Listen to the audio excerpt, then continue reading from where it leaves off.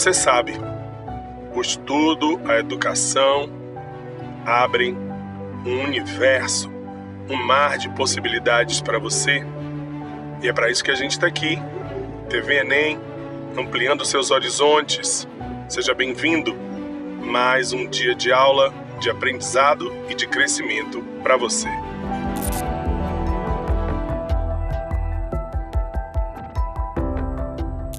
Oi, gente!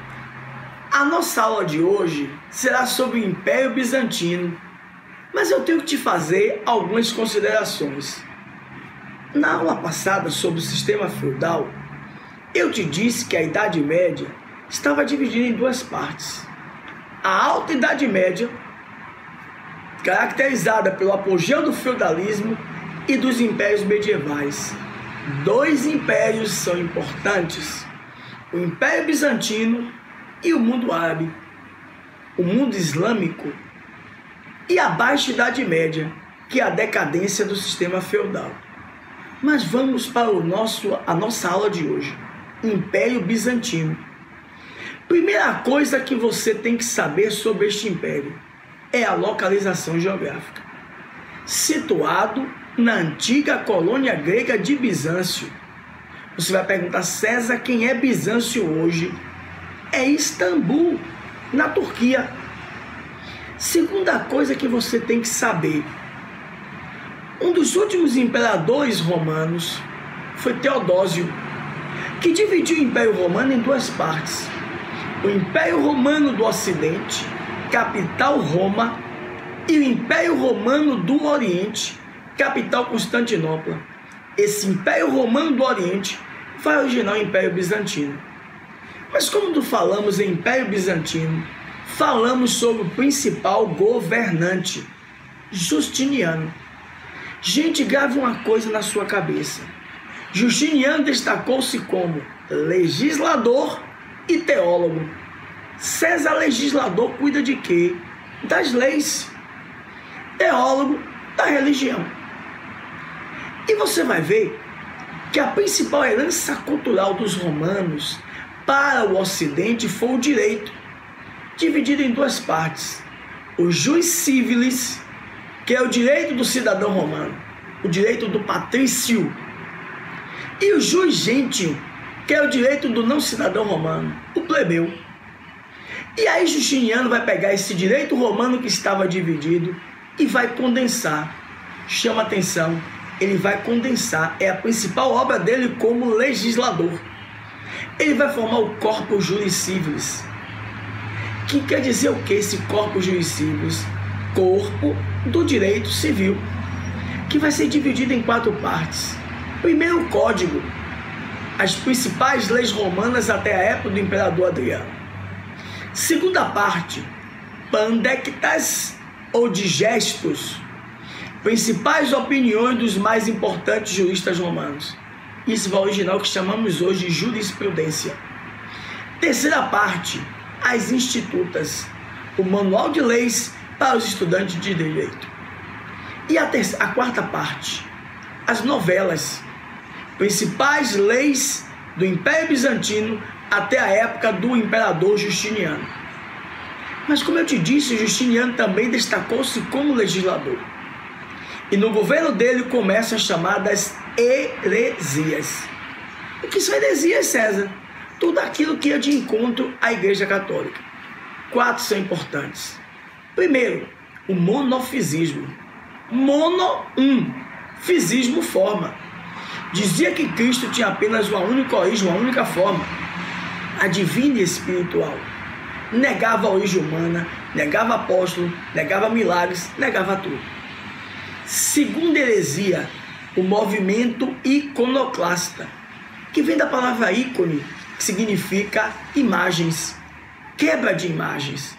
Isso deu início ao processo de decadência da Igreja Católica, a perda de poder da Igreja Católica, que vai culminar mais adiante na Idade Moderna com a chamada Reforma Protestante, iniciada por Martinho Lutero. Terceira heresia, o Césaropapismo. Césaro Roma Antiga, César, se lembra de mim? Papismo, Papa, Igreja Católica. os imperadores bizantinos concentraram em suas mãos os dois poderes, o poder temporal e o poder espiritual. Mas o mais importante, o cisma do Oriente. A palavra cisma quer dizer quebra, divisão. A Igreja Católica divide-se em duas partes. A Igreja do Ocidente, sediada em Roma, chefiada pelo Papa. E a Igreja do Oriente, também chamada de Ortodoxa, sediada em Constantinopla e chefiada pelo Patriarca de Constantinopla. Hoje, os dois maiores países de religião ortodoxa, Rússia e a Grécia. Mas também temos que saber sobre a sociedade, a política, a economia do Império Bizantino. Na sociedade dividida em camadas, não permite mobilidade social. Aqui em cima, camada dominante, nós temos três personagens: a nobreza, o clero ortodoxo e os militares. Na parte intermediária, importante tenha na cabeça a parte intermediária. Eu tenho os comerciantes e artesãos. E na base, eu tenho escravos e servos. Aí você vai dizer assim, César, você me disse que o escravo não fazia parte do perfil da sociedade feudal. Volto a te afirmar, não faz parte. Mas, em se tratando de um império, eu tenho escravo por conquista, escravo por guerra.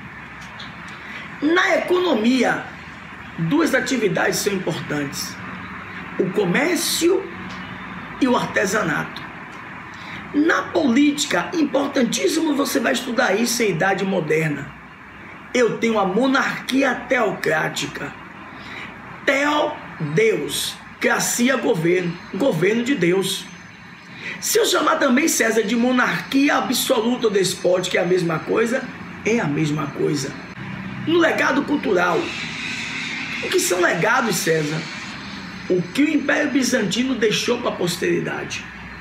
Nós temos a arquitetura com a técnica do mosaico, que é a montagem de quebra-cabeças.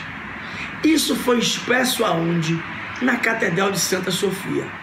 Mas uma coisa importantíssima que você vai ter que ter na sua cabeça. É o fim do Império Bizantino, que vai se dar no ano de 1453, com a tomada de Constantinopla pelos turcos otomanos. Este fato é importante, porque quando o Império Bizantino cai nas mãos dos turcos otomanos, fecha-se o mar Mediterrâneo, o que vai obrigar aos europeus mais precisamente, bote na cabeça, Portugal e Espanha a lançarem-se ao mar. Fato que nós vamos chamar de quê? Expansão comercial e marítima europeia. Os grandes descobrimentos. São assuntos de próximas aulas. Ok? Obrigado, um forte abraço e até a próxima aula.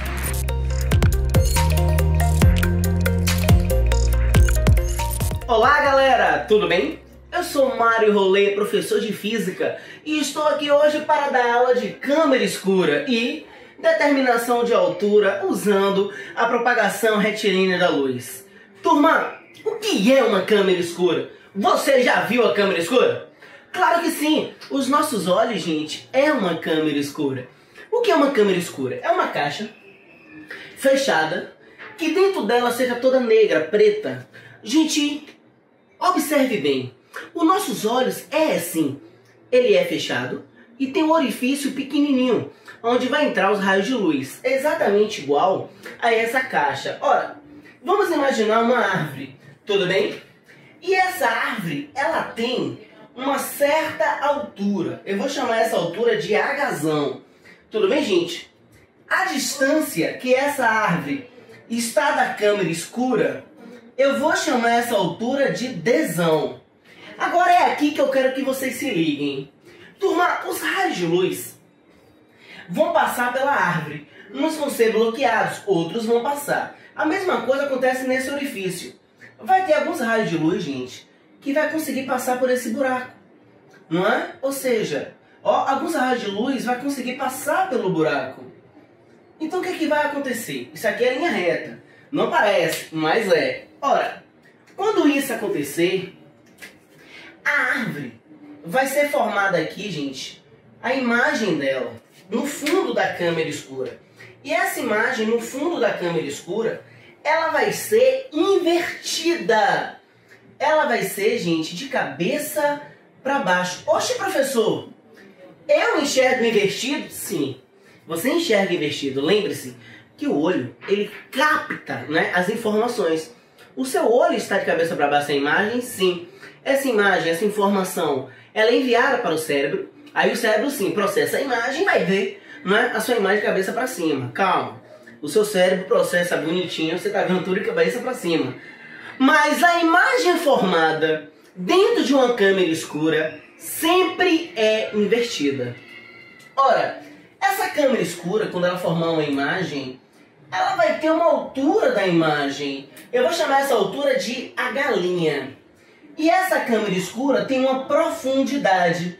Eu vou chamar essa profundidade de a galinha. Turma, bora brincar um pouquinho de matemática? Ô, gente, se esse ângulo é igual a esse ângulo, então significa que isso aqui é válida a semelhança de triângulo.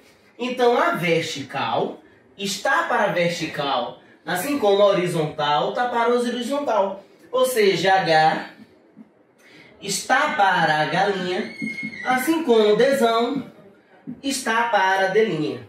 Aonde a gazão é a altura né, do objeto, a gazinha, a galinha é a altura da imagem, desão é a distância do objeto, a câmera escura, e delinha é a profundidade da câmera escura. Ora, uma câmera escura, ela é a aplicação né, da propriedade retilínea dos raios de luz. Uma outra aplicação é o seguinte: eu estou vendo um prédio. Aí eu quero saber a altura do prédio. Eu não sei como é a altura do prédio. Vamos imaginar que eu esteja aqui. Sou eu. Ó, eu estou aqui em frente a um prédio. Pessoal, ora, se eu souber qual é a sombra não é, do prédio, o raio de luz quando vem aqui, esse mesmo raio, como ele vem paralelo em relação ao Sol, ele pega em mim e na árvore. Significa, gente, que esse prédio vai gerar uma certa sombra no chão e eu também vou gerar uma certa sombra no chão. Se eu souber, gente, que é a distância da sombra, por exemplo, é desão, a distância da minha sombra é delinha. Repare, gente, vê se não é a mesma coisa.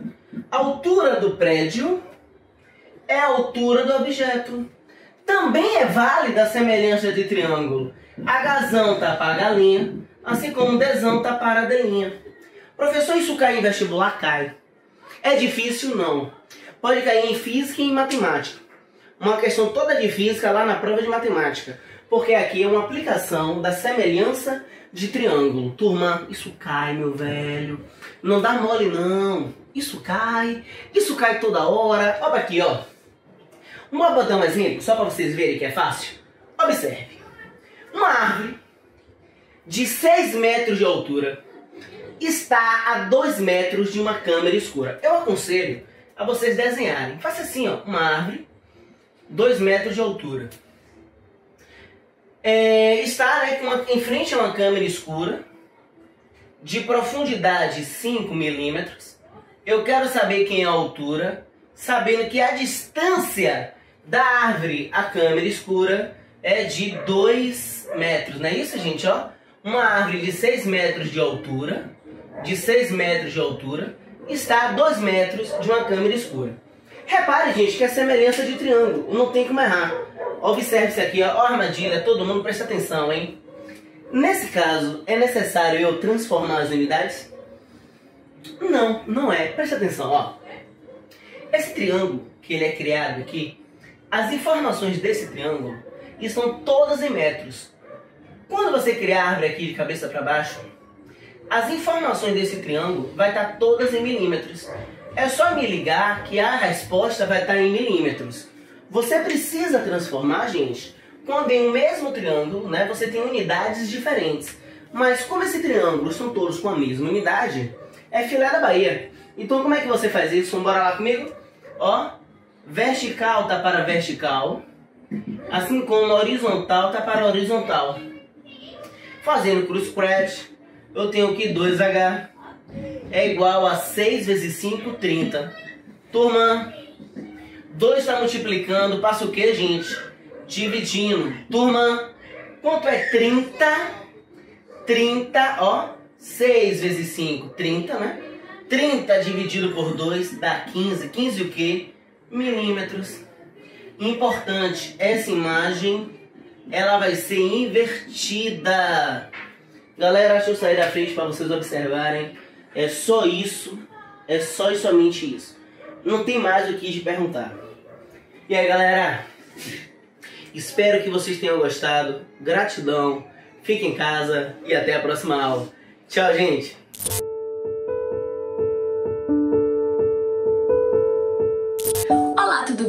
Vim falar com vocês sobre outra técnica textual. Essa tem que ser usada com um pouco de cuidado na prova de redação do Enem, já que a prova do Enem pede uma redação dissertativa argumentativa. Mas para a vida você pode se basear nessa técnica na sua comunicação no dia a dia, para conseguir dar bons exemplos, para conseguir desenvolver histórias e se comunicar de uma forma geral. Vamos falar sobre a técnica do storytelling. É um termo em inglês que significa contar histórias. Essa é uma técnica usada para contar uma história a partir de um enredo bem elaborado. O cinema, o documentário, as séries, os livros e principalmente o jornalismo usam e abusam, no bom sentido, do storytelling para contar a sua história de forma concatenada, com início, meio e fim, para que a pessoa que está lendo, assistindo, ouvindo, entenda toda uma narrativa sem se perder. Ou seja, o storytelling é muito bom para ser usado em enredos longos, como filmes, como séries, como documentários. Por quê? Porque quando a gente escolhe um personagem, quando a gente escolhe uma história para ser o centro de toda a trama desenvolvida, isso facilita para que o espectador não se perca no meio do caminho e não perca o fio da meada da história, não deixe passar nenhum detalhe importante. Através do storytelling, quando a gente foca em um personagem para poder contar a nossa história, a gente ganha a atenção do espectador também, porque pessoas se identificam com pessoas Pessoas se identificam com histórias, porque histórias são exemplos, são interessantes. É da natureza do ser humano querer ver histórias, principalmente quando elas acontecem através da personificação, ou seja, as pessoas são os centros do nosso storytelling. E é justamente por isso, por as pessoas se identificarem com outras histórias, que o jornalismo sempre busca trazer um personagem, trazer alguém como exemplo dentro do seu material jornalístico para seguir contando sobre alguma coisa. Quem nunca viu uma reportagem que começa falando sobre a história da família de Dona Maria e seu João para chegar até por exemplo, a notícia de que a farinha de trigo que faz o pão aumentou. É assim que a gente constrói os enredos, é assim que a gente coloca no jornalismo. Eu digo a gente porque sou jornalista. Assim que a gente consegue fazer com que as pessoas entendam como a economia, política, tem tudo a ver com o nosso dia a dia trazendo exemplos através do storytelling. E não é só o jornalismo que faz isso. Hoje o marketing usa muito, na verdade sempre usou. A publicidade sempre usou muito do storytelling para poder conquistar os seus consumidores. E o marketing de conteúdo, que é a nova forma de se fazer marketing, de se fazer propaganda, né, a mais moderna, vamos dizer assim, para tentar não errar muito do significado real. Então, ela, o marketing digital usa bastante do storytelling também. E não só o marketing, como eu falei, cinema, documentário, enfim, essa técnica de a gente contar histórias através de pessoas por roteiros, ela é infalível para te ajudar numa boa comunicação. Afinal, se os profissionais fazem assim, por que a gente não pode fazer também no nosso dia a dia? Espero ter ajudado vocês. Tchau, tchau, até mais.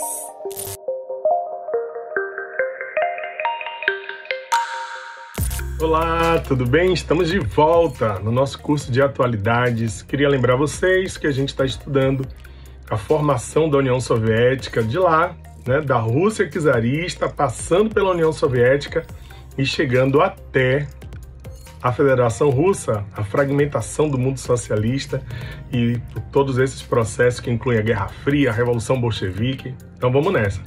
A gente já conversou um pouco sobre a Rússia pré-revolucionária e eu queria conversar hoje um pouco com vocês sobre o processo que vai levar até a efetivação do modelo socialista, do primeiro grande modelo socialista na Rússia, em 1917. Lembrar vocês que em 1905 a Rússia passou por uma revolução interna essa revolução, chamada de Revolução de 1905, é conhecida pelos historiadores como o ensaio geral, a preparação que levaria até a Revolução Bolchevique de 1917, como se fosse um ensaio mesmo, um treinamento, embora os milhares de mortos, embora tenha acontecido uma convulsão social interna na Rússia, o czarismo tenha vencido a Revolução de 1905 e reprimido os movimentos revolucionários.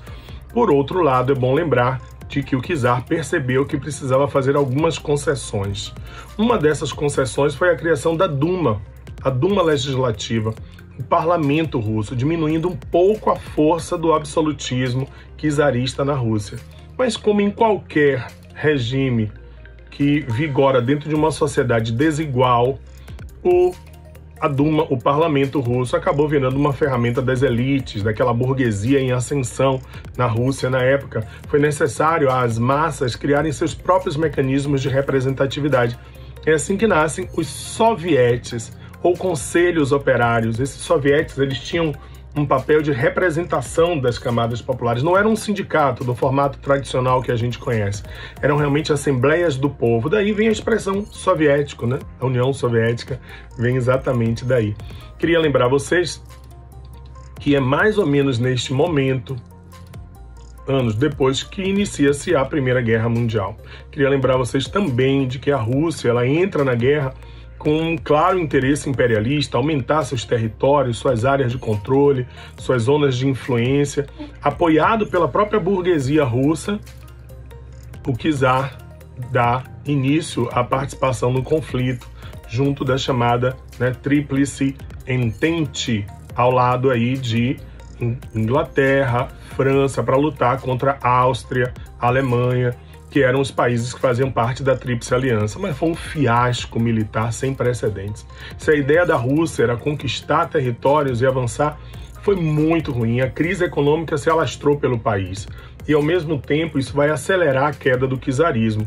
Queria lembrar vocês que, em meio a esse processo da guerra e a insistência do czar de comandar as tropas de forma absolutamente incompetente, acontece o primeiro esboço de transformação. Em fevereiro de 1917 acontece a Revolução Burguesa.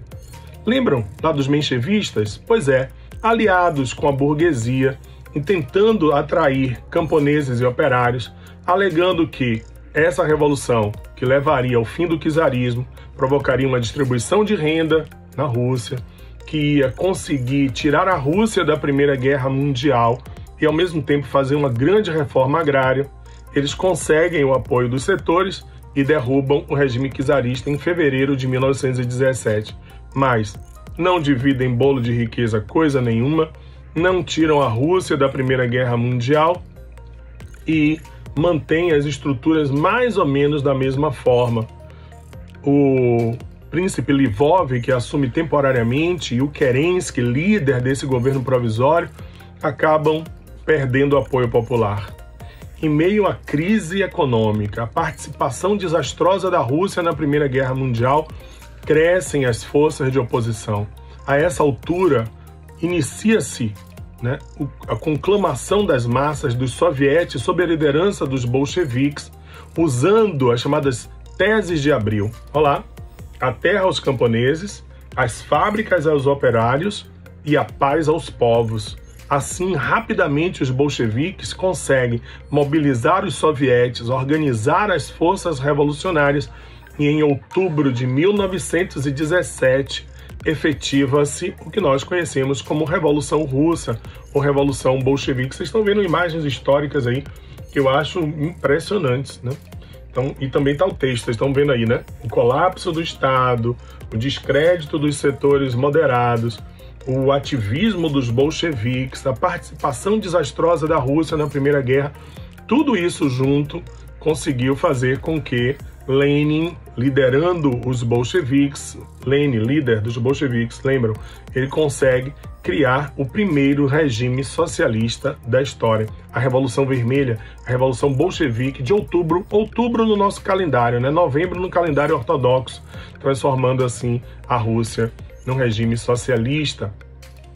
Aí você está se perguntando assim, Ricardo, o que foi feito da família do Czar? Foram colocados em uma prisão domiciliar, né? Numa dacha, numa casa de campo e depois foram executados. Você sabe que nessa história toda, né, da, da execução da família é, real russa, dos Romanov, Nicolau, sua esposa e suas filhas e seu filho, Alexei, existe toda uma história aí envolvida em muitos mistérios. É nesse trâmite que aparece aí a figura meio mítica do do Rasputin, né? uma espécie de bruxo, conselheiro, uma figura meio bem heterodoxa mesmo dentro do cenário político da Rússia nessa época. Ele que já tinha sido assassinado anos antes, volta à tona sobre a alegação de que teria salvo a princesa Anastácia. Essa história, se você tiver interesse, pesquise depois, porque deu pano para manga. Deu filmes, minisséries, livros, Anastácia, princesa esquecida gente aparecendo dizendo que era Anastácia, que foi libertada pelo espírito de Rasputin no meio da noite antes da execução. Eu sinto muito acabar com o sonho de muitos aí. Mas tudo isso é mera teoria conspiratória. Né? A, a Anastácia foi executada junto com a família, um momento lúgubre assim, né, da história da revolução, da história do processo revolucionário. Dizia Lenin que foi das decisões mais difíceis dele, mas o que vale mesmo é que, de forma brutal, a família czarista foi executada para evitar que houvesse ainda esperança dos setores czaristas com o possível retorno dos Romanov ao poder. Esse texto é muito bacana, pessoal, de um historiador que eu respeito demais. É uma comparação que é feita entre a Revolução Bolchevique de outubro de 1917 e a Revolução Francesa de 1789. Olha que bacana. Assim como a Revolução Francesa de 1789 foi o modelo clássico de revolução burguesa que desmantelou a velha ordem feudal e aristocrática, criando as condições para o desenvolvimento do capitalismo moderno. Hobsbawm diz que a Revolução francesa varreu para debaixo do tapete da história definitivamente as antiquárias medievais. Eu gosto muito dessa abordagem. A Revolução Russa é considerada o modelo clássico de revolução proletária, de revolução popular, que destruiu a ordem burguesa e capitalista e lançou os fundamentos do primeiro Estado socialista da história. Bacana, né? Mas você pensa que foi assim? Mágico? Lenin liderou os bolcheviques, derrubou e aí se estabeleceu o regime socialista na Rússia? De jeito nenhum. Esse processo foi muito longo. Né? Lembrem-se de que se a vitória da Revolução Bolchevique, da Revolução de Outubro, da Revolução Vermelha, trouxe, por um lado, o fim do czarismo, o estabelecimento de um governo, a coisa não foi tão fácil. A primeira medida de Lenin, de todas, foi tirar a Rússia da Primeira Guerra Mundial. Assina com a Alemanha um tratado de Brest-Litovsk. Esse armistício retira a Rússia da Primeira Guerra Mundial com enormes prejuízos territoriais. Territórios como Letônia, Estônia, Lituânia, territórios que só seriam recuperados pela Rússia muito depois, né? bem depois, já no processos posteriores da história. E apesar desse imenso prejuízo territorial, isso garantiu o armistício para a Rússia, ou seja, a retirada da Rússia da Primeira Guerra. Da Primeira Guerra, galera, porque a guerra interna continuou. Foram anos ainda de uma luta interna, de uma guerra civil que colocou de um lado o Exército Branco, que representavam as forças antirrevolucionárias, menchevistas, burgueses e mercenários pagos pela, pelos capitalistas do mundo para tentar sufocar a revolução bolchevique dentro da própria Rússia. E do outro lado, o Exército Vermelho, liderado por uma figura bem emblemática, a gente vai falar muito dele na próxima aula, que é o Leon Trotsky, que era o Exército Vermelho, que tinha como objetivo garantir a vitória da Revolução Bolchevique e estabelecer, assim, definitivamente o primeiro regime socialista no mundo. Queria lembrar vocês que o Exército Vermelho acabou saindo vencedor, estabelece-se, assim, a vitória definitiva do bolchevismo e, a partir daí, vai nascer a União das Repúblicas Socialistas Soviéticas. Ou seja, a partir daí vão surgir outros estados socialistas que, no bojo da Revolução Bolchevique, também se convertem ao discurso marxista, ao modelo marxista. A Rússia passa a ser uma das repúblicas socialistas soviéticas. Ô Rick, me diz uma coisa aqui: Rússia e União Soviética é a mesma coisa? Não. O que é maior? A União Soviética. A Rússia é uma, a líder, mas é uma das repúblicas socialistas soviéticas, entenderam? Então, assim, a, a União Soviética abrange outras repúblicas socialistas soviéticas. E aí, Ricardo? E a partir daí, com a vitória do Exército Vermelho, como foi o processo com o surgimento da União das Repúblicas Socialistas Soviéticas? O que vem pela frente? Ah, cara, isso é assunto para nossa próxima aula. Paz e luz para vocês. Um abraço e até o nosso próximo encontro.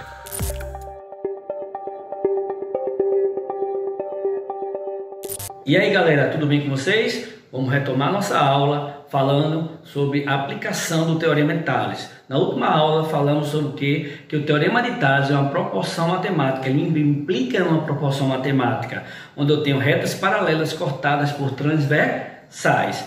E aí eu vou mostrar para vocês agora, gente, um exemplo no dia a dia. Como é que pode ser aplicado no Enem? Ele pode dar um mapa de, de uma rua, de, de ruas de um bairro, algumas ruas transversais, outras paralelas, e você aplicar o teorema de Tales. Tranquilo? É um contexto que pode cair no Enem. Então veja essa questão aqui que eu mostro para vocês. Ó.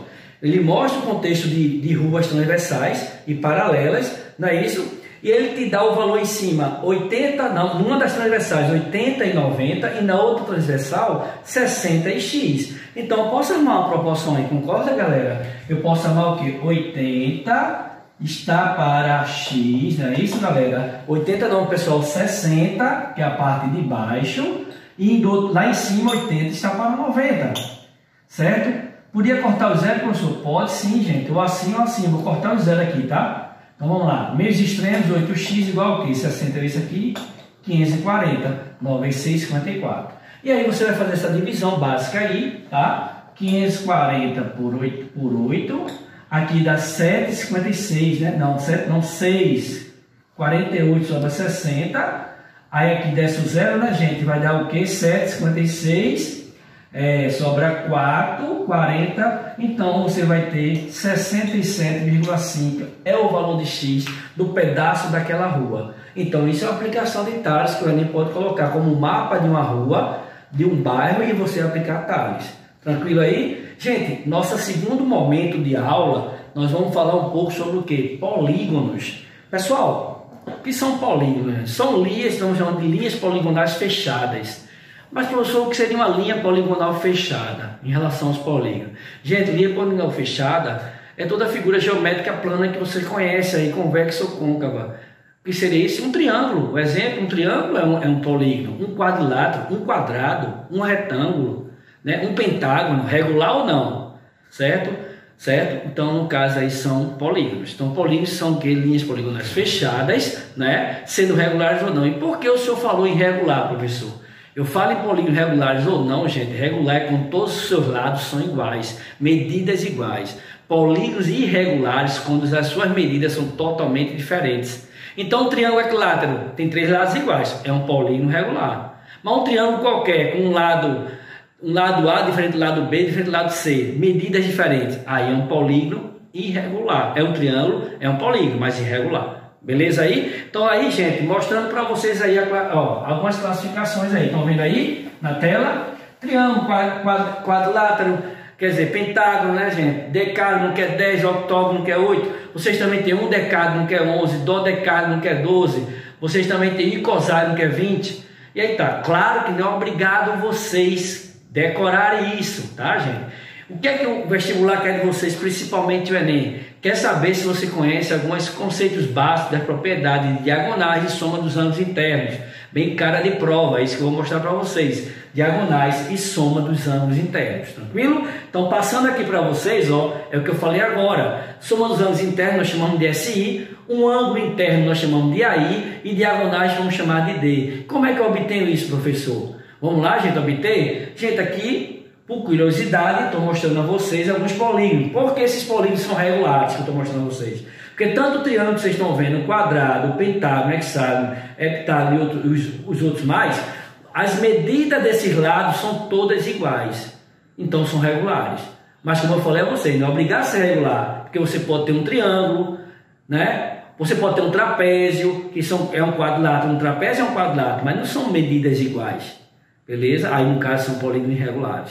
Então, como eu falei a vocês, qual é a pegada do, do vestibular de vocês? Essas duas, essas duas fórmulas aí, ó. A forma da soma dos ângulos internos, n menos 2 vezes entre parênteses vezes 180 graus, e a da diagonal, n vezes n menos 3 dividido por 2. Quem é esse n, professor? Gente, esse n nada mais é do que medida do lado, quantos lados tem? O triângulo tem três lados. É, o quadrilátero tem quatro lados, cinco lados, só é substituir pela quantidade de lados. N é a quantidade de lados. De maneira bem, bem, bem, bem lúdica aqui. O triângulo. Qual é a soma dos ângulos internos de um triângulo, gente? Professor, sei de cabeça. Se você não sabe, triângulo tem quantos lados? Triângulo tem três lados. Então a forma da soma aí, olha a fórmula lá, ó. SI é igual a N menos 2 vezes 180. O que é que eu vou fazer, galera? Então, vou fazer isso aqui para vocês, ó. Ver o que acontece. SI é igual a 3 menos 2 vezes 180. Por quê? Porque tem três lados do triângulo. Aqui vai dar 1, né, galera? 1 vezes 180 continua dando 180 graus. De boa? Então, a soma dos ângulos internos de um triângulo, qualquer que seja, 180. E se ele pedisse o quadrilátero? Jogava aqui 4. 4 menos 2 dá 2, vezes 180, 360. Se fosse um pentágono, 5 menos 2 vezes 180. Beleza aí? E por que no triângulo não existe diagonal, galera? Por quê? Gente, diagonal tem que ser de um vértice a outro, mas os vértices não podem ser em sequência. Dá uma olhadinha aqui, ó. Diagonal passa por dentro. Como é que eu vou passar por dentro de uma diagonal, de um vértice a outro? Já o retângulo tem, ó. Daqui para cá eu tenho uma diagonal, daqui para cá eu tenho uma diagonal, duas diagonais. Certo? Então, naquela forma diagonal que vocês estão vendo aí, nessa forma diagonal aí, eu posso aplicar para achar diagonais de qualquer figura. O triângulo não tem, porque se você colocar na forma diagonal aí, 3, né, que a fórmula é n menos 3 menos 3 por 2, aqui vai dar zero. Se aqui der 0, 0 vezes 3 dá 0. 0 por qualquer número, no caso 2, vai dar 0. Por isso, de triângulo não tem diagonal. Eu mostrei a vocês. Não tem como traçar diagonal aqui por dentro de um vértice a outro. Não temos. Beleza aí? Fechou? Então aqui, gente, deixo para vocês uma dica. Provavelmente a prova do Enem vai ser questões teóricas sobre esses conceitos de diagonal, conceito de soma dos ângulos internos. Então, se a prova do Enem é teórica, trago para vocês aí, dá uma olhadinha aí, uma questão teórica simulado de Enem, onde ele pergunta, gente, qual é a alternativa correta? Qual é a alternativa correta? Aí, letra A. Os triângulos não possuem diagonais? Opa! Já, já era, era, o triângulo não possui diagonais. Por quê? Não tem como traçar diagonal interna passando por dentro do triângulo. Impossível. Nós mostramos na figura hoje e mostramos também pela fórmula. 3 menos 3 vai dar zero. Nunca gerar uma diagonal ali. Letra B. Uma diagonal de um polígono qualquer, segmento de reta que liga dois vértices. Dois de seus vértices. Uma diagonal? Não, gente. Dois de seus vértices? Não. Depende. No triângulo, o que são vértices? Isso aqui é vértice, isso aqui é vértice, isso aqui é vértice. Se eu ligar isso com isso, vai dar uma diagonal? Não, vai, eu não posso fazer uma curva. Então não é a resposta. Letra C. Um ângulo externo é um polígono é cujo o ângulo que pertença a ele que não seja um ângulo interno? Não necessariamente. Um ângulo externo de um polígono regular é qualquer ângulo que pertença a ele que não seja um ângulo interno? Não. Você pode ter um ângulo, um polígono que não, esteja, não seja externo desse mesmo polígono. Beleza? Aí vamos para letra D. Os quadrados possuem apenas uma diagonal? Não. O quadrado tem a mesma logística de que, galera? Olha lá. Do, tem duas diagonais. Não só uma. Letra E. Os retângulos e os quadrados possuem uma, uma, um número diferente de diagonais? Não. Tanto o quadrado como o retângulo possuem duas diagonais. Eu estou mostrando por desenho, mas você podia fazer pela fórmula. n vezes n menos 3 por 2. O quadrado tem quantos lados? 4. No lugar do n, coloca 4 e você vai descobrir a quantidade de diagonais. Certo? Que serão duas. Resposta é duas diagonais. Beleza aí, galera? Então, atentem, se preparem para questões teóricas do Enem em relação a polígono quantidade de diagonais, teoria sobre diagonais, sobre o ângulo interno, soma dos ângulos internos, pode cair, ou aplicação da forma do ângulo interno, da soma, SI. E eu termino com vocês com essa frase aqui, ó, a frase Galileu Galilei. Não, é, não se pode ensinar alguma, alguma coisa, opa, não se pode ensinar alguma coisa a ninguém, pode-se apenas auxiliar a descobrir por si mesmo. Então, no caso, um professor pode te dar um caminho mas aprofundar naquele caminho ou galgar caminhos para a tua melhor condição de vida só depende de você. Beleza? Um forte abraço, professor Alan César, e até nosso próximo encontro no TV Enem. Valeu, galera!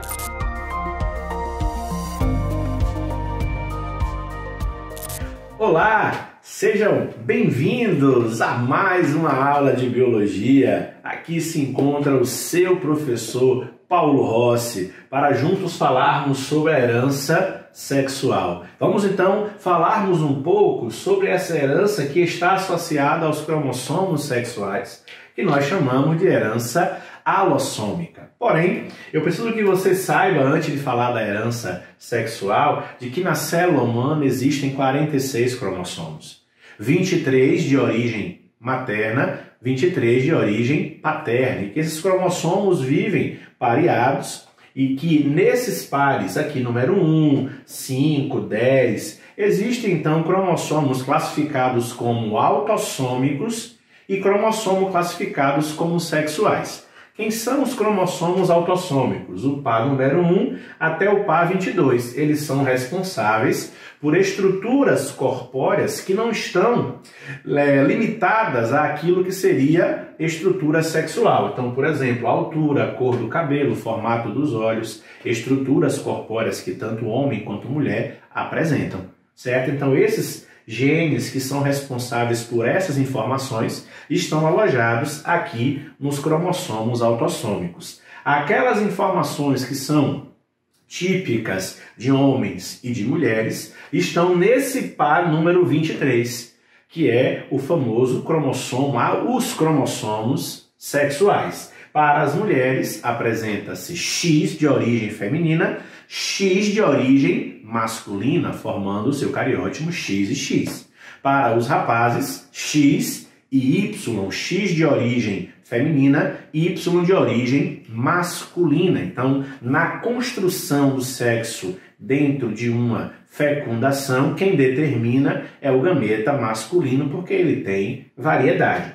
Se você olhar então atentamente, os genes que estão localizados nos cromossomos autossômicos, eles vão então produzir características que não são sexuais. Porém, existem influências, limitações dos cromossomos sexuais nessas expressões. Exemplo, eu tenho ali a herança influenciada pelo sexo. Genes que estão localizados em cromossomos autossômicos que sofrem influência dos hormônios sexuais. Se você olhar atentamente aí para a minha carequinha, já está surgindo a calvície, essa herança influenciada pelo sexo. Isso quer dizer então que a estrutura genética do meu cromossomo autossômico está sofrendo influência dos hormônios sexuais produzidos a partir dos genes que estão armazenados nos cromossomos sexuais. Então, a pessoa, ao desenvolver essa herança influenciada pelo sexo, vai ter variação. Tanto homem quanto mulher apresenta esse gene, mas o corpo do homem tem mais testosterona do que o corpo da mulher. Isso modifica a expressão genética. O homem, para ser calvo, para esse tipo de calvície, ele vai ser tanto cesão-cesão, quanto cesão-cezinho, ele vai ser calvo ele só não será calvo na informação recessiva, Cezinho, Cezinho. Já as mulheres, esse gene sofre pouca influência porque ela só vai ser calva se ela for cesão-cesão, tornando esse fenômeno tanto quanto raro dentro da estrutura feminina. Porque se ela for heterozigótica, cesão-cesinho, ou se ela for cesinho-cesinho, ela não será calva. Então prova que esse gene, que é dominante no homem, vai se comportar como recessivo nas mulheres. E nós temos a herança limitada ao sexo genes que estão em cromossomos autossômicos, mas que estão acontecendo apenas em homens ou em mulheres. A herança influenciada acontece nos dois. A herança limitada ao sexo acontece só em homem ou só em mulheres, como é o caso dos homens que têm desenvolvimento grande dos pelos na região da face. Em relação às mulheres, desenvolvimento da glândula mamária, formação da glândula mamária e também o desenvolvimento do quadril é algo peculiar. Apesar dos homens terem esse gene, somente as mulheres desenvolvem essa característica. E chegamos então às discussões sobre essa herança chamada de sexual porque vai acontecer essa diferença e eu peço a sua atenção. Os cromossomos sexuais, eles podem ser X ou pode ser Y. X e Y tem essa região aqui em vermelho que é homóloga, ou seja, aqui tem um conjunto de poucos genes que apresentam dominância e recessividade entre si, ou seja, eles se manifestam em igualdade, apesar de estar no cromossomo sexual, tanto o homem como a mulher pode manifestar esses genes em igualdade. Porém, existe essa herança ligada ao cromossomo X, que vai acontecer com maior frequência nos rapazes, porque, como vimos no começo da aula, o homem tem apenas um X de origem feminina. E como esse setor aqui, esse braço cheio de genes, não tem uma parte homóloga Y, então o que o homem herdar do gameta feminino vai acabar desenvolvendo em seu corpo. Outra parte aqui, ó, em Y, que não tem homologia em X, também vai estar restrito ao que acontece no homem. Logo, olhando para os cromossomos sexuais, nós teremos a herança pseudo-autossômica, que é essa que acontece na região homóloga, a herança ligada ao cromossomo X e a herança restrita ao sexo. A herança parcialmente ligada ao sexo ou pseudo-autossômica se comporta como o monohibridismo, que a gente já discutiu em outras aulas sobre a genética. Mas essa herança ligada ao cromossomo X, que antigamente era o de herança ligada ao sexo, é uma herança que vai acontecer com maior frequência nos homens. Por que, professor? Porque o homem recebe o X do óvulo e o Y do espermatozoide. Como uma boa parte do X não tem homologia no Y, o que ele herda da mãe acaba se manifestando em sua estrutura fenotípica. Exemplo, o daltonismo. Representamos o daltonismo com a letra D e sempre colocamos o X embaixo porque ele é transmitido no cromossomo X. Então, uma mulher normal, ela pode ser XDzão, XDzão. Quando você escutar no vestibular que a mulher é portadora, é porque ela é heterozigótica para o daltonismo. XDzão, XDzinho. Observe que ela tem um X de origem materna, outro de origem paterna, e por isso ela só vai ser daltônica se ela for recessiva, tanto para o X de origem materna como para o X de origem paterna ok? Já os rapazes não. Ele vai receber o X desão da mãe. Como ele não tem uma parte homóloga Y, esse gene desão vai torná-lo daltônico, enquanto que para ele Perdão, o X desão deixará ele normal, enquanto que o X desinho deixará ele daltônico, refazendo a minha informação. Se o homem herda o X desão da mãe, ele vai ser normal. Se ele herda o X desinho da mãe é que ele vai ser daltônico, ok? Nessa construção, podemos ainda observar nesse quadro que uma mãe portadora da estrutura ligada ao X, ela pode formar filha normal, filho normal, como também ela pode formar uma filha portadora e um filho afetado. Porque, professor, esse filho acabou herdando no cromossomo X o gene recessivo. E esse gene recessivo, por não ter a informação genética homóloga no Y, vai se manifestar.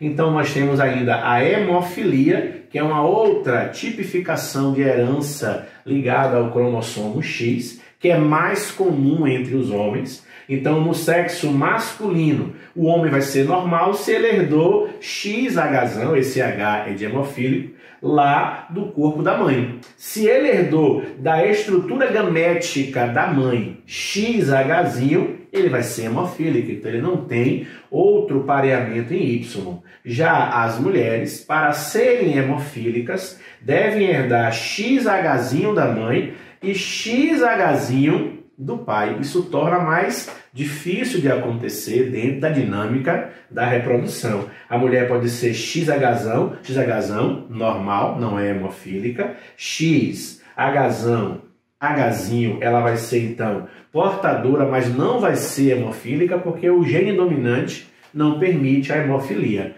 Para quem não sabe, a hemofilia é aquela enfermidade genética que dificulta o processo de coagulação do sangue, que é uma reação química sanguínea que bloqueia os possíveis sangramentos e lesões que estão acontecendo nos vasos dentro do corpo humano. E aí chegamos à herança restrita ao sexo, que é a herança holândrica, porque ela só acontece nos homens.